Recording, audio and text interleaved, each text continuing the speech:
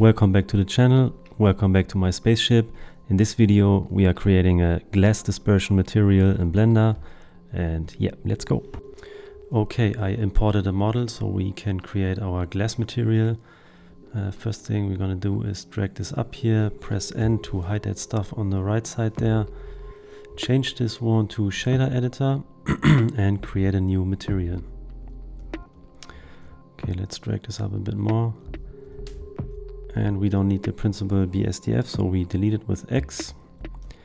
Now we're gonna press Shift A, search and search for refraction BSDF. We need this one three times. Duplicate this one three times. Add another mix shader and we need this two times so duplicate this one also. Now we're gonna drag the first two refraction BSDF in the first mix shader. And then we're gonna combine these into another mix shader. Drag this one into the surface. Another thing we need is another mix shader. So we're gonna add another one and add a glass BSDF Okay. Now we're going to change the colors from the first refraction BSDFs. the first one got the color red, so go over to RGB and just drag everything to zero here, except the red. And the second one, you're gonna drag red to zero and blue. So we only got green and, and then next one, we only wanna have the blue. Okay, let's change the first IOR to 1.4, the second to 1.45 and the third to 1.5.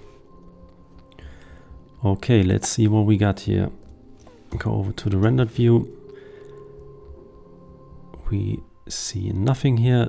We're gonna change the render properties to cycles and go over to the world properties here. We are going to make the background black for now. Go to the side view, hit shift A and add a light source. So we add an area light. Uh, press R to rotate it. We need a light from the back here. Uh, press S to scale it up and G to move it uh, in the back of the shoe here. So we go over to the front view and yeah, we got something. Yeah, this material works really good if you scale down the light source a bit and just stretch it to one side. For example, like this here. Drag it down a bit and increase the power to something like 1000.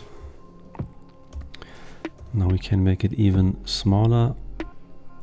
Okay, let's say we want to make the background white now. So we choose the background here in the world settings, drag it all over to white and increase the strength to something like 5.